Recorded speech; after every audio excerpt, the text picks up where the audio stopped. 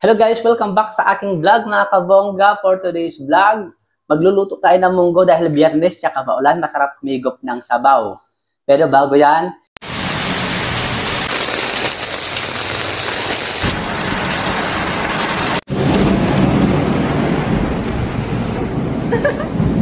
ah, pawala-wala ang ilaw guys, ang lakas ng kidlat sa labas.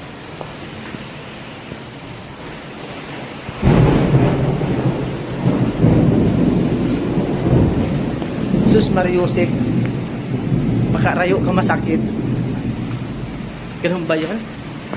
Parang Sus Mariusik Santa Barbara Bindita ba? Nakaikiyan mo pa yun. Sorry, ragaba. Wala ka sige siya.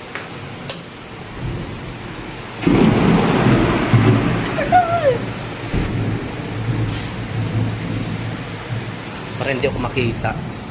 Ganun.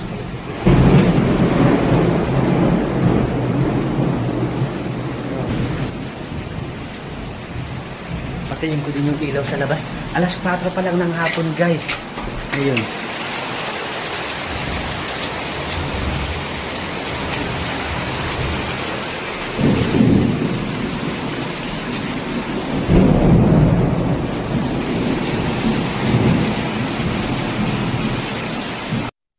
Ayan guys, pagkatapos ng ano ng tribunada, okay na ang panahon, wala nang kulog at magluluto na tayo. Maglalagay ako ng lumang mantika. At saka bagong mantika. Para ano, balance equation.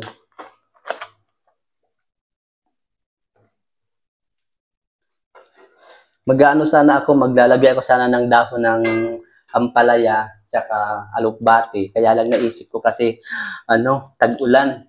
Yung mga na- nakikita kong dahon sa palengke kanina, baka ka ako natalamsikan ng kung ano-ano, kaya hindi ako kumuha. Yung dito naman sa likod ng bahay namin, ganun. Tapos, yung pagluluto, ah siya nga pala guys, i-share ko lang sa inyo na yung pinakamasarap na munggo, luto ng munggo na natikman ko sa Sambales, yung ano, luto na munggo ni Nana Daling. Ah, nung, ma- nung mga bata pa kami guys, mabut mabutbut kami taw kunla, ma, ma, mapa- maparamil kami taw. Lagi kaming andoon kasi may pagkain doon sa kanila. may pagkain doon sa kanila. Ilagay ko na yung baboy kasi ano para maano siya. Buto-butong baboy yung kinuha ko guys para malasa. Yan. Yun, ibalik ko yung usapan kay nanadaling guys nung bata pa ako. Yan yung pangalawang nanay ko. Pag doon ako sa kanila dati, ay pag pumupunta kami doon sa kanila, siguro mga 4 years old, 5 years old, 6 years old, ganyan, pumupunta ako doon sa kanila lagi. Ay, nililinisan niya ang katawan ko yan, sinanadaling. Tapos, hindi ko pa makalimutan yung umakyat kami sa papaa, makupa, doon kila Mrs. Pasha. Hawak-hawak niya ako dito ay sa likod. Tapos andoon talaga ako sa pinakadulo kasi ano, gusto niyang kunin yung malalaking makupa tapos iuwi ko. Ganon yung ano niya sa akin, sinanadaling. Tapos, lagi akong nasa tabi niya pag nagluluto. May mga okasyon, halimbawa, ganyan, pista. Tapos, ano yan, madaling araw pa lang, Jiri, sabi niya, naku ka muna ti, ni ating mong Gigi, ba na, ako kami na tao. Nasa tabi ako niyan, guys, ni nanadaling. Pag naglilinis kami ng ano ng baboy, yung pait ng baboy, andyan ako tagatabo ng tubig, ganyan-ganyan sa kanya. Tapos nagluluto ng munggo. Kaya yung pagluluto ng munggo, master na master ko to. Yung sa kanya kasi, yung may tawag kami sa Sambali, yung ang paniti kami ng baboy. Ganyan. Master na master ko to.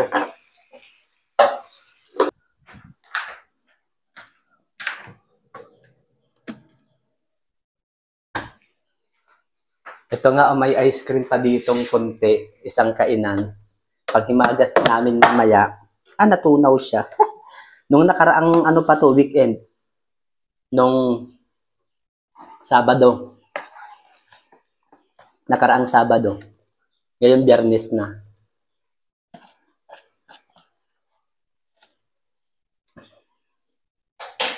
Hindi naman So ito guys, na ano na siya, na tusta na siyang konti, tumaton ang mantika. Kaya ano ko to, i bubukod ko muna. Aw. Natitense ako.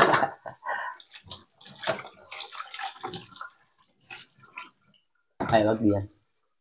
Kasi pagkain to. Kailangan maging maging ano tayo, maayos tayo sa pagkain nilutuin kasi ang kakain nito walang iba kundi kami. Ayan, natusta na siya guys. Nag-brown na siya. Mabango to mamaya. Sok-sok pa oh. Ay, ang bango. Ayan, tapos bukas ulit ng apoy. At ang ilalagay ko ngayon ay itong kamatis.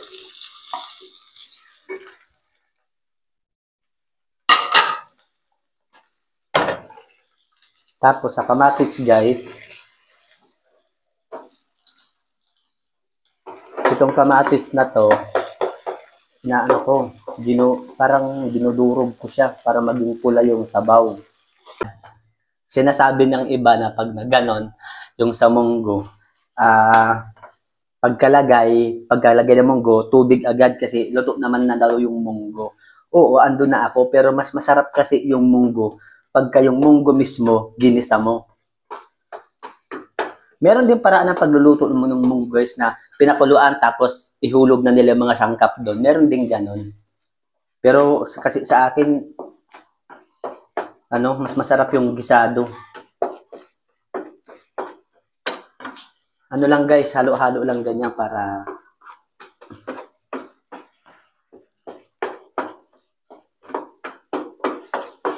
Ayan. Medyo okay na. Ililipat ko ngayon yan dito sa kung ano, sa rice cooker na malaki. Kasi wala kaming kasirola. Yan. Nagisa na siya ng todo. Kulay pa lang. Kulam na.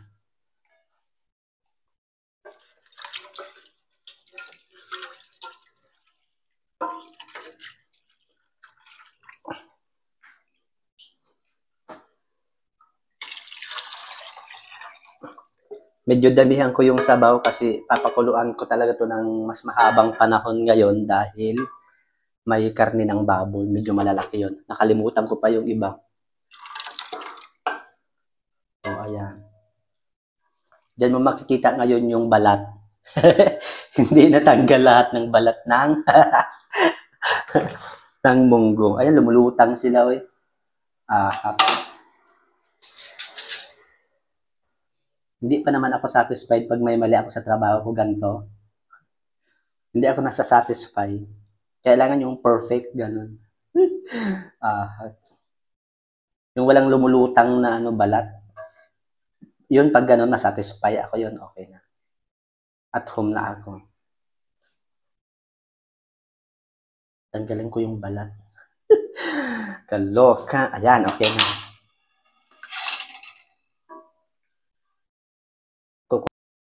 Kukuluin ko na to guys at ilalagay ko na yung ah, buto-buto ng baboy.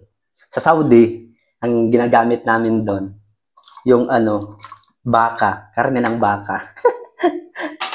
Kasi mura yung ano doon, mura yung karne ng baka, 20 real lang. Tapos, 20 real, per, 20 real per kilo.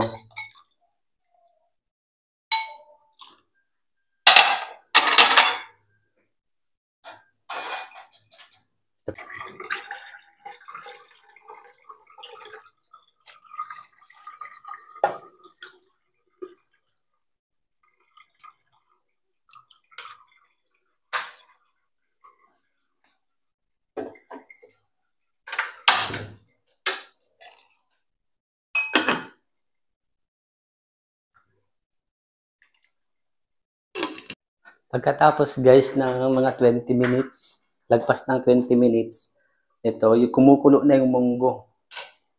Kulong-kulo na siya. At lumutang na yung mantika-mantika niya, oh. Ay, sana makita nyo. Ayan, oh. Lumutang na yung mantika-mantika ng munggo. Achieve. Tapos,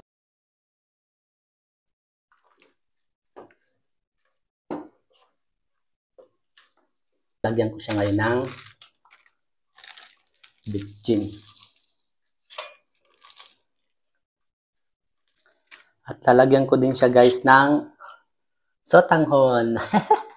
Ganito lang yung sotanghon na nilalagay ko, pang ano lang. Pang balanse lang ng ano, pang balanse lang ng munggo. Kasi pag maraming sotanghon yung ilalagay ko, sisip-sipin yan yung sabaw.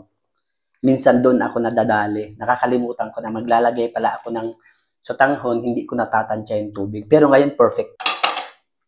Tapos doon, ilalagay ko na rin yung ampalaya. Mm. Sarap nito, guys. Magtitira ako ng ano, ampalaya kasi magluluto ako ng paksiw. Sa mga na nagluluto dyan na medyo hindi nakukuha yung sikreto sa pagluluto, pagluluto ng ampalaya para maalis yung alat, ah, alat, yung pait nun, pagkahiwa mo, ilagay mo siya sa tubig na may asin yung parang ginawa ko kanina kung ay, hindi, hindi ko ata napunan. Ay, lagay nyo sa tupperware o kahit anong lagayan. Tapos lagyan yung tubig. Yung tubig lagyan nyo ng asin. Tapos ihulog nyo doon yung mga iniwang uh, ampalaya. Matatang Tapos wag nyo nang galaw-galawin. Matatanggal yung pait na. Ito guys, yung sinasabi ko sa inyo na sabaw ng munggo pagka ganun yung pag-style ng pagluluto niya sa akin, maputi. Ganyan. Tapos pagkulo niyan mamaya, pagka okay na wala na siyang mga bula-bula. Kasi tatanggalin ko pa yung mga bula-bula dahil impurities yan tawag dyan. Pagka okay na, lulutang yung kulay orange na sabaw niyan guys dahil sa kamatis. Yun yung ang sarap-sarap talaga.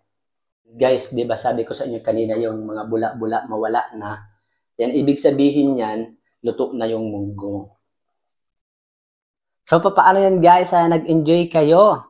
Pero bago ko isasara yung vlog ko na to, uh, shout out daw sa lahat ng muhika dyan sa Lungo Santa Cruz, Zambales dyan sa Purok 5 sa looban kila Sancho Mujica. Pinapa-shout out kayo ni uh, Edwin Garcia.